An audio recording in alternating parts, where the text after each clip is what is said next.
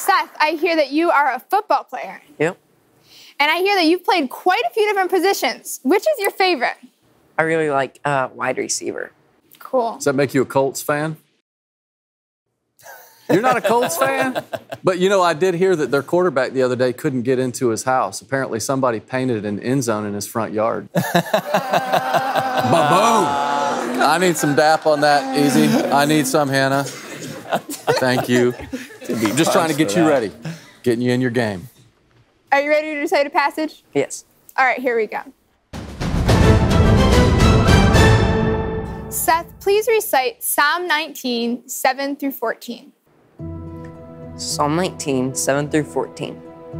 The law of the Lord is perfect, converting the soul. The testimony of the Lord is sure, making wise simple. The statutes of the Lord are right, rejoicing the heart. The commandment of the Lord is pure, enlightening the eyes. The fear of the Lord is clean, enduring forever. The judgments of the Lord are true and righteous altogether. More to be desired are they than gold, yea, than much fine gold, sweeter also than honey in the honeycomb. Moreover, by them your servant is warned, and in keeping them there is great reward. Who can understand his errors? Cleanse me from secret faults. Keep back your servant also from presumptuous sins. Let them not have dominion over me. Then I shall be blameless, and I shall be innocent of great transgression. Let the words of my mouth and the meditation of my heart be acceptable in your sight, O Lord, my strength and my redeemer. Psalm 19, 7 through 14.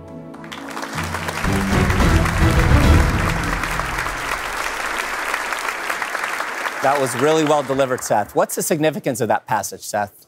It, uh, the passage tells us that um, God rules over all areas of our life, and that um, whatever we need, uh, He is there, and that Right. uh, He can keep us from sin. Amen. And I love the beginning of that passage. The law of the Lord is perfect, converting the soul. You know, the New Testament tells us that the law is a schoolmaster to bring us to Christ. In other words, God has given us a law to show us that we're sinful.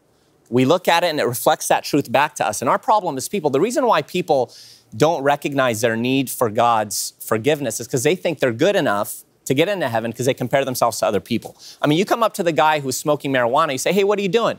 He says, Look, I know I shouldn't be doing that, but I'm a good person, right? At least I'm not uh, uh, hurting anybody. That guy over there uh, is, uh, you know, a, a thief, right? You come up to the guy who's a thief. He says, Man, at least I'm not uh, taking anyone's life. He's a murderer. You go up to the murderer very carefully. Hello, Mr. Murderer. How are you today? But even the murderer, right, will look around and say, Hey, I'm a good person. At least I'm not like Hitler who murdered millions of people. But when we look into God's law, that if we've told one lie by his standard, we're a liar. If we've taken one thing, we're a thief. Jesus said, if you look at a woman to lust after her, you've committed adultery with her in your heart. You recognize your guilt. You can't get to heaven on your own. Christ died, rose again. We repent, place our faith in him. God gives us everlasting life. Well, and it's so encouraging for you as a young person. You've spent all this time memorizing God's word. And it, this whole passage is talking about how, you know, the word of God is what equips us. And it gives us it's a sort of the spirit right? And it, it's this, it's what we use to fight against sin. And you have that in your heart and we're here to honor and celebrate that today. Amen. seth you did a great job reciting that passage and you received a thousand points. Oh. Congratulations. Oh. good job man.